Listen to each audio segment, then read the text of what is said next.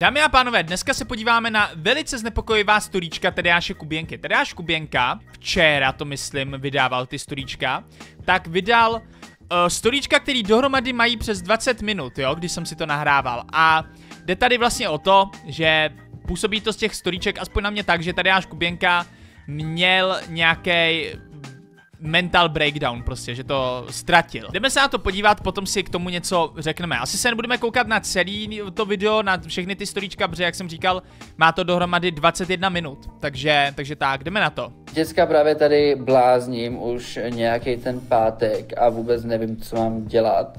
Takže vám jenom chci poděkovat a říct, že už vím, co mám dělat konečně. Takže děkuju. Všem. Všem. Úplně všem.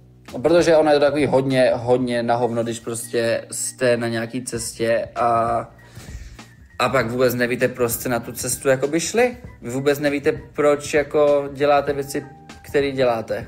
Tak pak jako by to nikam nevede, že? Takže to zase musí někam vést. A děcka, rozhodl jsem se prostě, že to vede k dobrým věcem. Takže top prostě. Ideál. Takže když vám nadávám, že jste uh, skur píč, tak si jen uvědomte, že je to taková vnitřní sebenenávist. Dobrý, já to tady, poprvé to tady zastavím a něco si řekneme k tady tomuhle tomu, co jsme viděli teda. Jako jde vidět a je myslím jasný, že Kuběnka měl mentální breakdown. Četl jsem, že spoustu lidí píše taky, že, je, že měl hodně špatný trip a že měl prostě jistý nějaký látky a že se teďka mění kompletně jeho osobnost a tohle to nevím.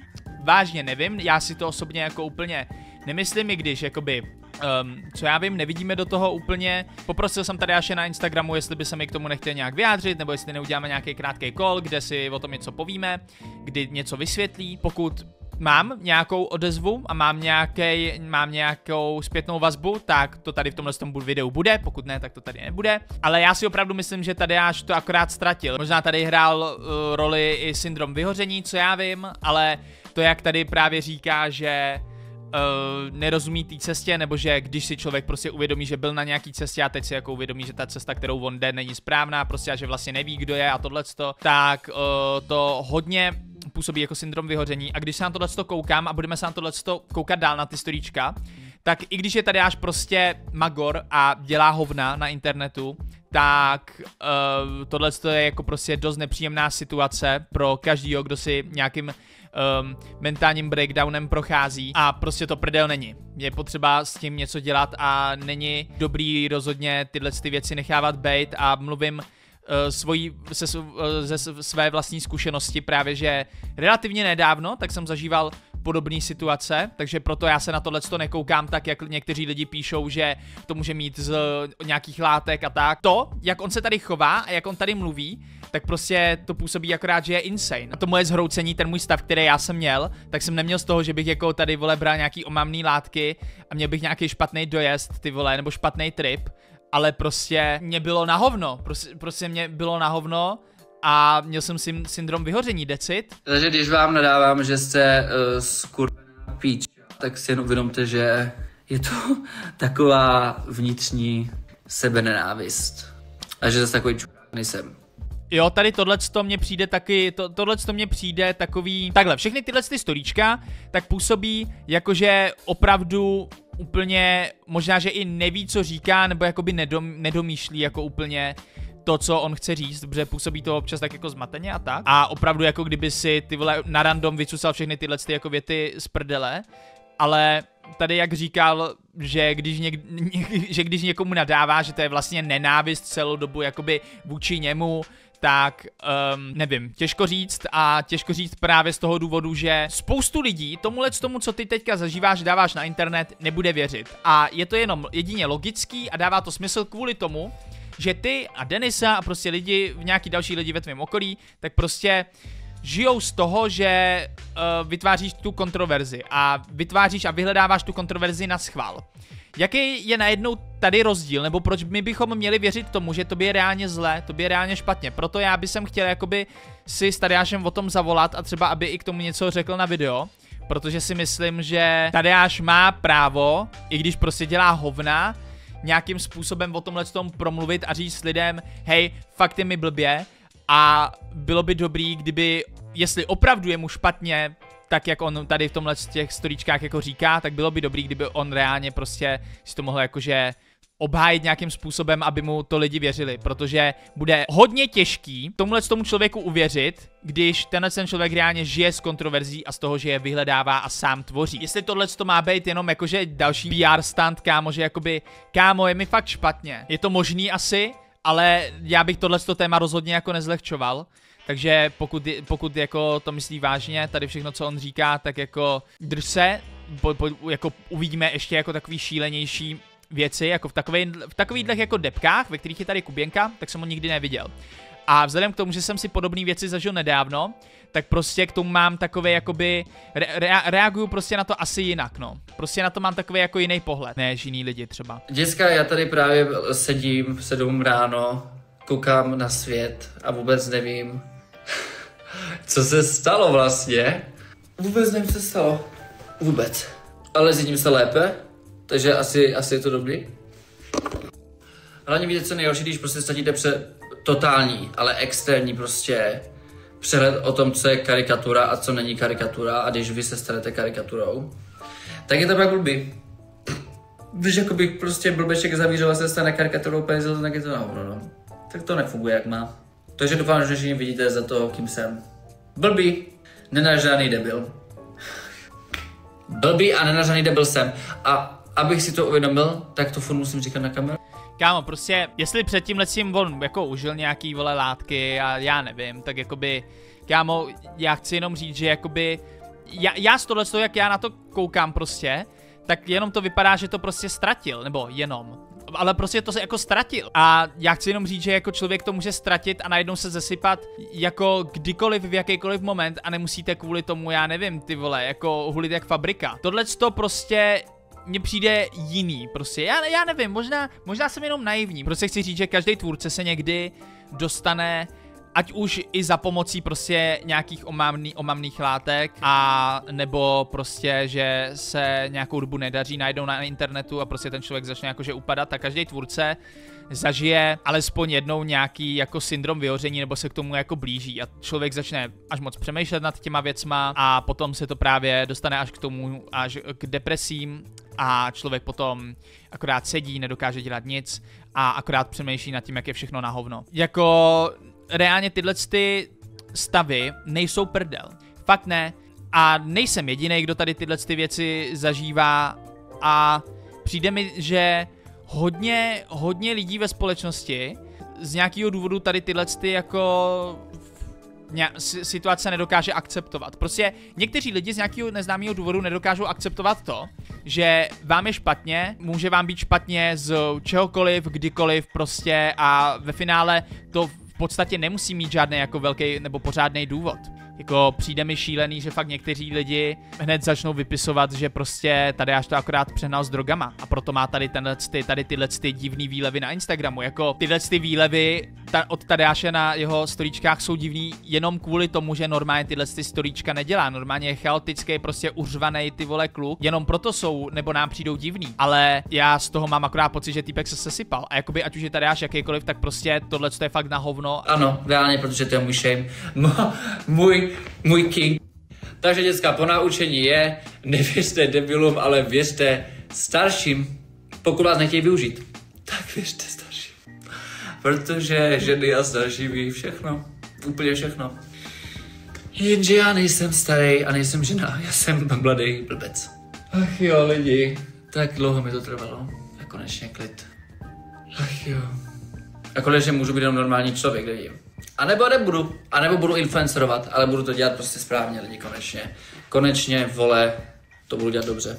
Jo, tady další part, že jako říká, budu, influen- budu, dál, budu dál influencer, budu influencerovat, ale budu to dělat dobře. Um, já se trošku bojím toho, že se tohle to nestane, že tady až prostě bude dělat pořád tohleto, protože tomu funguje nejlíp. Popravdě já si sám osobně nedovedu jako představit, kde Tadeáš jakoby, co se týče tvorby, mohl se někde uchytit a prostě tam zůstat a začít jako kdyby druhou nějakou novou kariéru, když ho celou dobu vidíme jenom jako uřvanýho týpka, který jenom proto, aby ty vole byl zase chvíli zajímavý, tak je schopný jako mluvit o tom, kde, kdo, kde s kým spí ty vole. To je jako by, bylo by za mě jedině super, kdyby se od toho kontroverzního obsahu posunul trochu dál, protože jakoby žít jenom z toho kontroverzního obsahu, který ty musíš jakoby furt vyhledávat anebo vytvářet. Jako už pár let dělám reakce a už pár let se jako na internetu po- pohybuju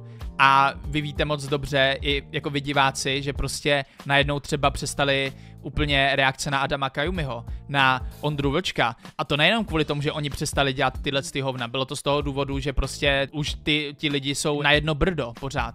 Vlastně člověk si potom z, z, eh, zvykne na tenhle ten nějaký jeden typ bizáru, to samý u Shopaholic Adel. Já to pozoruju jakoby na tom, že ze začátku tak to bylo jakože jiný, byl to zase jiný člověk, byl to jiný druh bizáru, lidi se na to koukali, ale v tenhle ten moment tak prostě už je to jako ohraný, už je to stejný, už prostě je to, je to, už to, už to není prostě ono. A to samý se může stát, tady u Sugar Danny a u Kuběnky. Jestli se tady až změní nebo ne, hej, to je prostě na něm, to je vole jeho věc logicky, a uh, my, myslím si, že se nic moc nestane, už jenom z toho důvodu, že prostě je to Tadeáš a nějaký zkušenosti vole s ním máme, ale jestli on reálně sám chce, tak já mu to jedině přeju a doufám, že se reálně něco povede. A proč se rozhoduju? Už je rozhodnuto, já tady zůstávám, vole.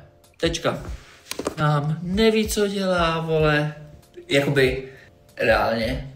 Takže pokud vám vadí Tadeáš Kuběnka, tak sorry. Tak sorry, no.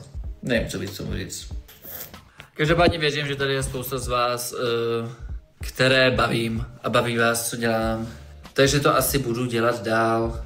Budu to dělat dál a značením. Akorát to prostě teď konečně budu dělat dobře ve světle slunce. Pane bože, dívejte, jak se opaluje. Užívám si slunce. A to je klid. Já tady možná rychle něco to, já tady možná rychle něco ještě přidám do tohle z toho videa, než jenom ty Tadeášovo storíčka. Moment, dejte mi chvíli. Prostě já, když nemám co říct, tak držím hubu. Souhlasím s tím, že někdy mi teda skáče do řeči, což mě prostě sere a sere to nás všechny, ale takový on prostě je, dělá to úplně všem, dělá to jeho mámě, dělá to jeho sestrám, Simoně, všem. Takový on prostě je. Dokud to on nebude chtít změnit, takže to nezmění. Takže se ani nezmění něco na tomhle podcastu, protože that's just his personality. Is he a bit disrespectful? Hell yeah. Tadáš nemá moc respekt k lidem a jako on to ví, já to vím, vy to víte, jakože let's be real, prostě serete, když je někdo neposlouchá ale zároveň, až to bude chtít změnit, tak to prostě změní. Já si... Přijde mi, já jsem to tady chtěl prostřinout jenom z tohle z toho důvodu, že prostě tady Denisa říká, že tady až nemá moc respekt k lidem. A já se teda jakoby chci zeptat, když tady až říká, že to bude dělat jako ty vole sluníčko a že to bude krásný, že to bude dělat dobře. Za prvý by mě zajímalo, co vlastně znamená to dělat dobře, protože tady až dělá dobře to, co teďka jako celou dobu dělal. Prostě vyvolává nějakou kontroverzi, nějakou nenávist okolo sebe a toho prostě živí. Takže jakoby to na jednu stranu je dobře, jenom prostě ten způsob toho, jak kolem sebe, jak chceš být jako vnímaný společností a těma lidma na internetu, mně přijde hloupej. To je teda jedna věc. A druhá věc, že říká, že všechno už bude krásný a bude to dělat dobře. A potom vlastně ti tady jeho nejlepší kámoška, nebo nevím, vole, kámoška prostě řekne, že nemá moc respekt k lidem, já, jak, jak moc tomu reálně věřím, že se tohle to stane, jak moc tady až reálně bude najednou nový lepší člověk, nevím, to, to uvidíme časem, no. Hej, to je takový skurvý klid, konečně. Ale od té doby, kurva, co jsem vlezl do školy, tak doteď jsem neměl klid. Doteď. Furt něco řešit, furt něco, vole, furt, furt, furt, furt, furt, furt, furt něco dělat, vole. Fuj, ten jazyk odpor. Víte, co je neuvěřitelné? Že já se celý svůj život bojím, že umřu sám. Že umřu sám, vole, a přitom prostě to lidí na mě kouká. Děcka, víte, co moje závislost se mnou udělala s tím člověkem, co říká pravdu? Tohle. Hej lidičky, já ty vaše zprávy vidím, ale vy mi je psát musíte, protože já to jinak nevidím. Pane bože, pane bože, pane bože. já jsem pro Děcka, vy si myslíte, že jsem se probudil a najednou si myslím, že jsem se změnil a že jsem úžasný. Ne, já vím, že jsem stále v sobě hnusný ko... jo, já to vím, všechno, vole. Ale prostě fakt se snažím teďka na to myslet a dělat věci jinak. Protože já prostě chápu, že jsem prostě idiot a že moje slabina, vole, jsou moudré ženy a ne chlapy. Z téhle věty jsem docela zmatený. Nikdy, nikdy jsem nic neviděl. A dělal jsem pí. Ber, ber rozvážení, takže prostě jen si nemyslete, že já tady prostě teďka ze sebe dělám pí jen tak, ale protože si fakt uvědomuju prostě, že jsem fakt udělal extrémně pí. Chápete to? Jakože extrémně prostě zbytečných sraček, takže jen tak uh, k mému vyjádření. Děcka, já děkuji všem za milé zprávy, jestli jsem spál, jestli jsem v pořádku a očividně se zavřít do blázince, ale v pohodě prostě, stává se. Já vám jenom chci říct, že už mi konečně prostě nic není a že jsem v pohodě a že jsem jenom udělal prostě sračky, protože jsem neviděl pravého nepřítele. A pravý nepřítel jsem já, protože já jsem prostě, vole, kok, který soudí lidi, vole, podle přesudků. Easy business, easy business, vole, a potom pak řeknu takový hovna třeba, jako, vole, že že matka Kerry Kirsten nevyužívá, protože vole v tom vidím prostě jiné věci, prostě jsem prostě akorát hlupák. Reálně. No a tohle to potom on vlastně omílá v dalších deseti minutách, který tady zbývají. Vlastně tam potom akorát říká, že je právě hloupej, vole, a že dělá sračky a že dělá sračky a že je v jádru hnusný člověk, že se teď uvědomuje a že ho to sere. No, takže je docela smutný nebo nešťastný na tohle koukat. Kort, když jakoby tady tyhle ty nějaký jakoby myšlenky nebo stav, tak jsem relativně nedávno si prožil taky a vlastně poprvé. Nevím, co víc k tomu říct. Já si myslím, že jsem řekl jakoby dost všechno, co jsem chtěl a um, snad bude tady až dobrý, no. Jako přeju mu, aby byl jedině dobrý a ať už se sebou chce dělat jako cokoliv, tak jedině podporuju a držím palce, kámo, a prostě, jestli došel k nějakému jako uvědomění, těžko říct, ale jako, hej, uvidíme. Nic víc stejně jakoby dělat nemůžeme. Merch naleznete na stay12.cz, napište mi prosím vás do komentářů, co říkáte na tady tohleto téma a na všechno, co tady až řekl. Napište mi když tak nějaký vaše postřehy, prosím vás, co si o tom myslíte vy, teda, a uh, uvidíme se příštího dalšího videa, mějte se hezky. Ciao.